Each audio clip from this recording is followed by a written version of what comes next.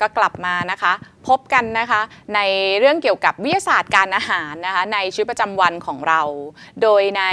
ครั้งนี้นะคะก็จะเป็นสัปดาห์ที่เราจะพูดถึงเเรื่องที่มีความสำคัญนะคะกับร่างกายเราเป็นอย่างยิ่ง แม้ว่าเขาจะไม่ได้จัดนะคะว่าเป็นสารอาหารหลักอยู่ใน 5 หมู่ก็ตาม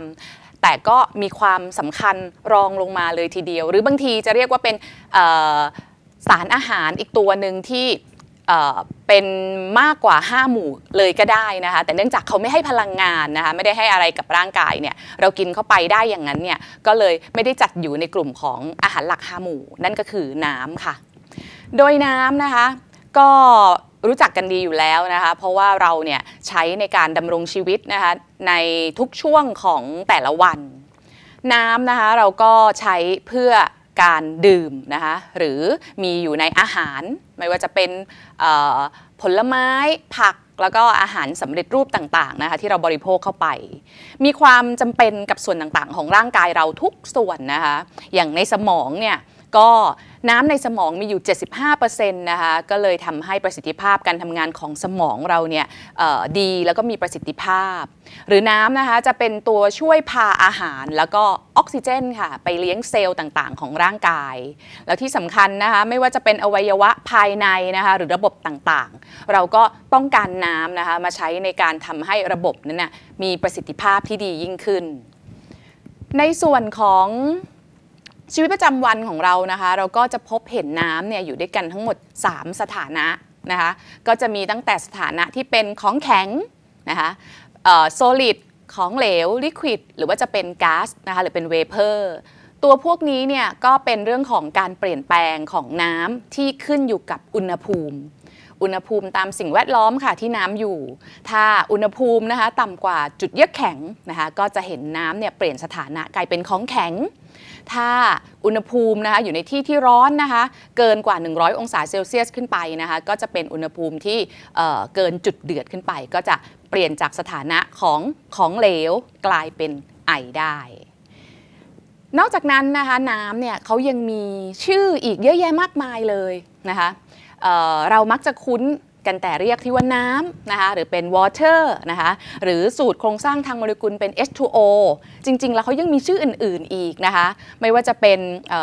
dihydrogen monoxide hydrogen dihydroxide นะคะ dihydrogen oxide hydrogen monoxide หรือเป็น hydrol ชื่อพวกนี้นะคะก็จะแทน ความหมายที่เราเรียกถึงน้ำได้นะคะแต่ว่าก็เราอาจจะไม่คุ้นนะคะถ้าเราไม่ได้ใช้ข้อมูลทางด้านเคมีมากนักในชีวิตประจำวัน แต่ก็มีอีกหลาย ๆ ชื่อค่ะ ที่เรียกแทนในส่วนของน้ำได้แล้วในน้ำนะคะก็จะประกอบไปด้วยอะไรบ้าง น้ำเนี่ยจริงๆ เขาเป็นสสารที่ประกอบด้วยอะตอมของธาตุมากกว่า 1 ชนิด พอนึกออกใช่ไหมคะว่ามีชนิดอะไรบ้างจากสูตรโครงสร้างง่าย ๆ ของเขาก็คือ H2O นั่นก็มีไฮโดรเจนนะคะ2อะตอม แล้วก็มีออกซิเจน 1 อะตอมนะคะมีการสร้างพันธะโควาเลนต์นะคะรอบออกซิเจนนะคะแล้วก็ทำมุมกัน 105 องศาเชื่อมต่อกัน และในแต่ละโมเลกุลของน้ำค่ะ เวลาเขามาเชื่อมต่อกัน ก็จะต้องมีพันธะหรือบอลเกิดขึ้น นั่นก็คือ hydrogen bonding นั่นเองค่ะ แล้วตามสูตรโครงสร้างที่บอกไปเมื่อกี้นะคะของน้ำก็คือ H2O เลยทำให้มีน้ำหนักโมเลกุลนะคะหรือโมเลกุลาเวทของน้ำเนี่ยอยู่ที่ 18 นั่นก็มาจากไฮโดรเจนใช่ไหมคะ 1 อะตอมก็คือมี 1 2 อะตอมก็คือเป็น 2 ส่วนออกซิเจนก็คือ 16 นะคะ รวมกัน 16 บวก 2 ก็เป็น 18 อันนี้ก็เป็นข้อมูลเบื้องต้นนะคะของเกี่ยวกับน้ำนะคะที่ เด็กๆนะคะหรือว่า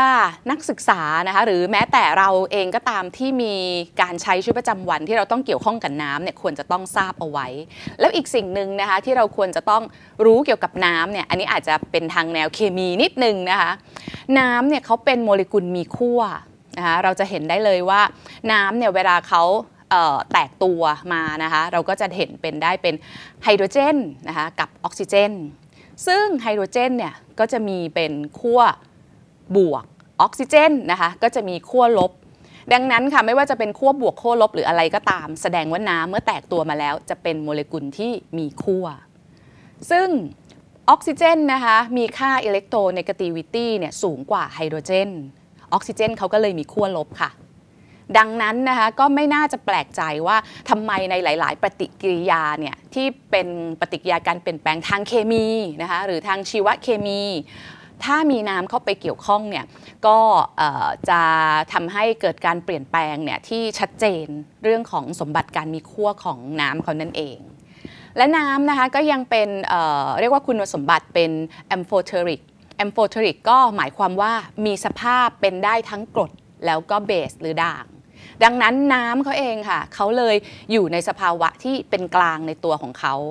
สังเกตได้นะคะจากค่า pH หรือค่าความเป็นกรดด่างของน้ำเนี่ยจะอยู่ที่ประมาณ 7 นั่นเอง ก็ในส่วนของค่าความเป็นกรดด่างนะคะ ถ้า